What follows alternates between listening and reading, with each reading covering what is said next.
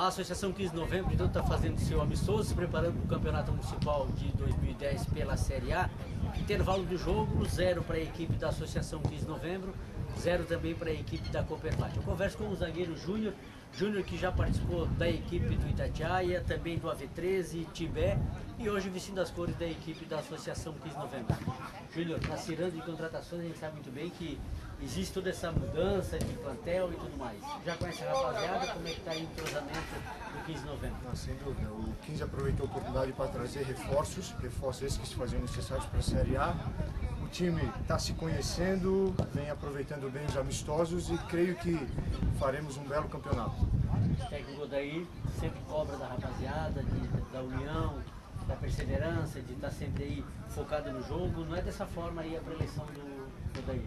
Não, sem dúvida. É determinação, é raça, é vontade, é defendendo realmente as cores por aquele time que se escolheu e se optou por jogar e sem dúvida sempre fazendo o melhor dentro de campo. Uma das, um dos motivos e uma forma de estar motivada a equipe da Associação de Novembro é a, o recebimento do próprio estádio Miguel Ezequiel de Simas. Tudo isso é um ingrediente a mais para vocês. Sem dúvida, essa infraestrutura só vem para somar, vem para servir de incentivo e fazer com que cada um dê o suor, dê a garra, dê a, a sua máxima vontade para obter os resultados e defender esse patrimônio que tão bem foi entregue aos, ao 15 de novembro.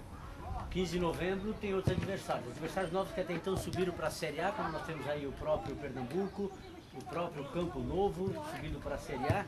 Como é que tu vê aí os adversários em 2010? É, segundo informações, não dá para ir a fundo estudar cada um dos adversários, mas segundo as informações, os bate-papos de futebol, obtém-se as informações que os times vêm se reforçando, vêm sim investindo e acredito que será um belo campeonato. Claro que temos surpresas, temos Pernambuco, temos Campo Novo que estão adentrando a Série A, mas vamos verificar quais são os resultados no final do campeonato. Bom, Júnior, obrigado para você, sucesso para você na Associação 15 de Novembro. Eu que agradeço e espero que todos os esportistas do Vale aproveitem essa oportunidade que é praticar esporte, praticar o bem e ter a saúde necessária para justificar uma bela vida. Nós conversamos então com o zagueiro Júnior da Associação 15 de Novembro, lembrando que a Associação 15 de Novembro participa do Campeonato Municipal pela Série A.